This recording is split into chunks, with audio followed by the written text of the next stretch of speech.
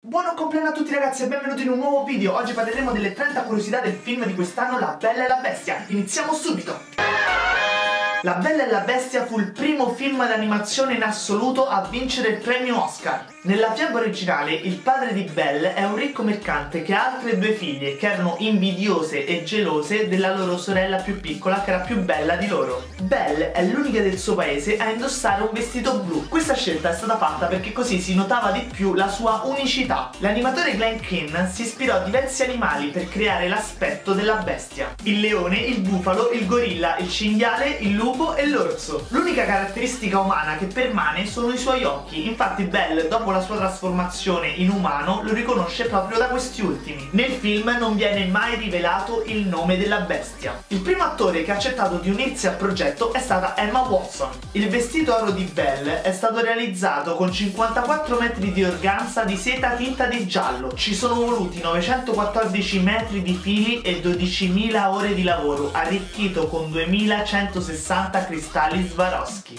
Il pavimento della sala da ballo del castello è stato realizzato con 1114 metri quadri di finto marmo. Il disegno è stato preso da un motivo del soffitto dell'abbazia benedettina di Braunau, in Germania. I lampadari della sala sono stati creati prendendo spunto da quelli della reggia di Versailles sono state coltivate o acquistate circa 1500 rose. La foresta incantata che circonda il castello è stata costruita con veri alberi e siepi, un lago ghiacciato e circa 20.000 ghiaccioli. Ci sono volute ben 15 settimane per completarla. All'inizio il regista Bill Condon non voleva assolutamente fare questo film perché riteneva che il lungometraggio animato del 91 fosse già perfetto così. Le Tante è stato il primo personaggio apertamente omosessuale in un film Disney, ma il tutto è stato realizzato con molta delicatezza e attenzione, tant'è che ogni persona, per quanto sensibile essa sia, non è rimasta turbata dalle scene. Le scenografie, gli oggetti di scena, i costumi, le acconciature trucco sono un'accurata riproduzione di quanto esisteva nella Francia del XVIII secolo. Più di mille persone hanno lavorato 24 ore su 24 per costruire e decorare i colossali set, regalando al film un'incredibile quantità di opere artigianali. Il design della biblioteca del castello è basato su quello di una celebre biblioteca che si trova in Portogallo. Il pavimento è stato realizzato con 185 metri quadri di finto marmo e la scenografia comprende migliaia di libri creati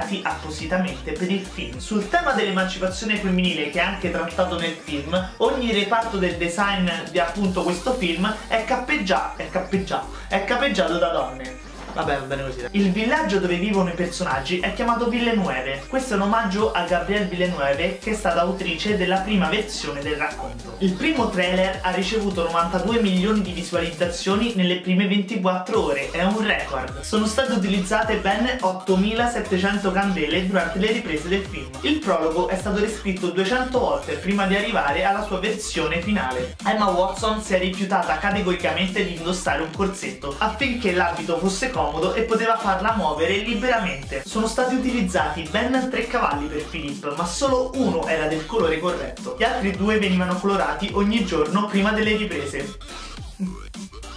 Nei cinema russi la visione è stata vietata ai minori di 16 anni, questo per via di una legge che proibisce la diffusione di propaganda omosessuale rivolta ai bambini. Emma Watson ha detto di no a La La Land perché era già legata alla Bella e la Bestia.